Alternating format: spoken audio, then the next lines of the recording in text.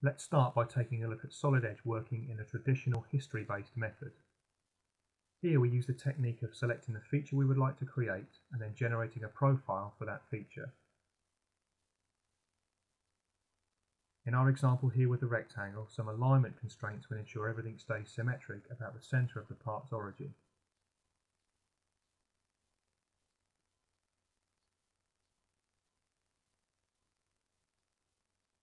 Once this is finished, we can define the extent we require and create the 3D geometry. Moving on, we can select another extrusion feature and draw a profile on the top face of the part. Then once again, define the extent.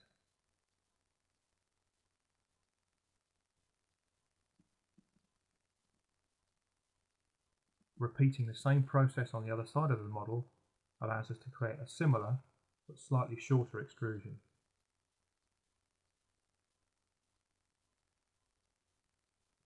From here, we're going to select the end face of the part to draw an arc. Notice that the 3D and 2D environments are separated, which means we are either sketching or using 3D commands, never both together.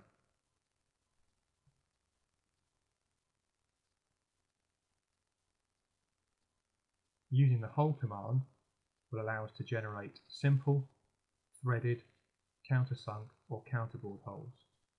Again notice that the 2D and 3D environments are separated.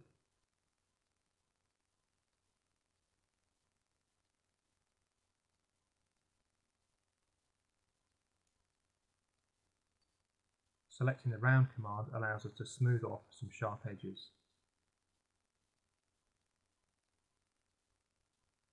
Finally, we want to generate a slot right through the centre of the part.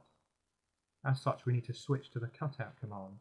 Then identify the face and once again draw an appropriate profile for the shape of the cutout we would like to create.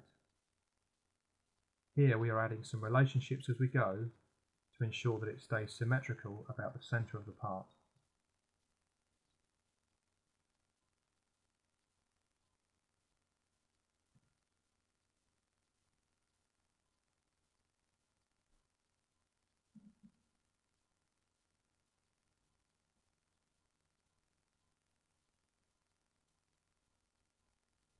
If we find we need to make edits to the geometry we've created, in a traditional history-based modeler this involves having to adjust the underlying profiles that control the geometry.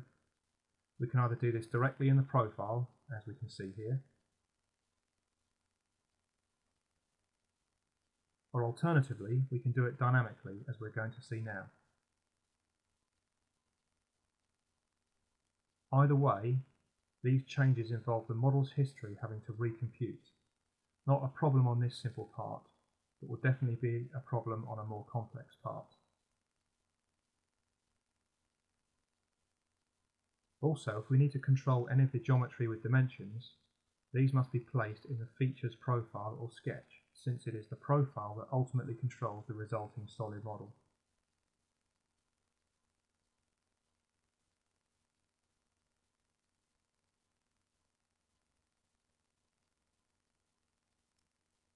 Once again, these edits require the history of the model to be recomputed every time a dimensional value is changed.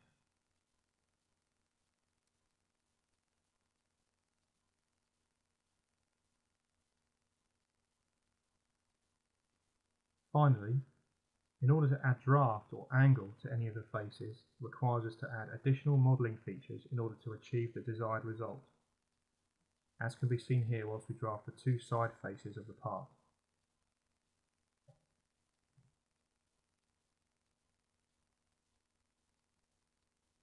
And also the end face of the part.